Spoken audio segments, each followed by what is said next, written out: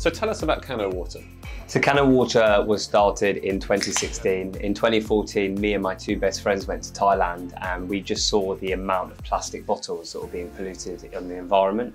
Uh, you know, we saw uh, plastic on beaches, in landfill, and it was something that, you know, we became completely and utterly obsessed with trying to, how do we fix this? How, is there a solution? Why is no one doing anything type of thing? Um, and through uh, lots of research saw that aluminium is actually a lot more recyclable than plastic. So 75% of aluminium that was produced in the 1800s is just still in circulation and it's just going, you know, round and round and round. So when you recycle a can, it'll come back as another can. So the story was amazing.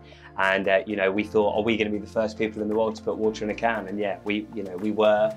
And, uh, you know, it came with its, uh, its difficulties, but, you know, it's been a phenomenal journey so far. And, you know, we, we've only just begun.